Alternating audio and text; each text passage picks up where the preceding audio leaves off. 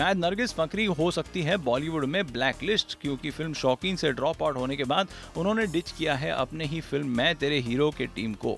अगर सोर्सेज की माने तो एक हॉलीवुड प्रोजेक्ट के लिए उन्होंने मैं तेरा हीरो फ़िल्म को प्रमोट करने से साफ़ इनकार कर दिया है और पूरी टीम को प्रमोशन के बीच में छोड़कर चली गई है। लेकिन नरगिस का मानना है कि उनकी प्रॉब्लम डायरेक्टर डेविड धवन और टीम समझते हैं कि हॉलीवुड का प्रोजेक्ट उनके लिए कितना इंपॉर्टेंट है और वो बॉलीवुड फ़िल्म को फाइनल फ़ेज़ में आकर ज़रूर प्रमोट करेंगी। हमें डर है नरगिस कि अगर आपका यही अनप्रोफेशनल एटीट्यूड रहा तो कहीं बॉलीवुड में आपका ये फाइनल फ़ेज़ ना हो जाए।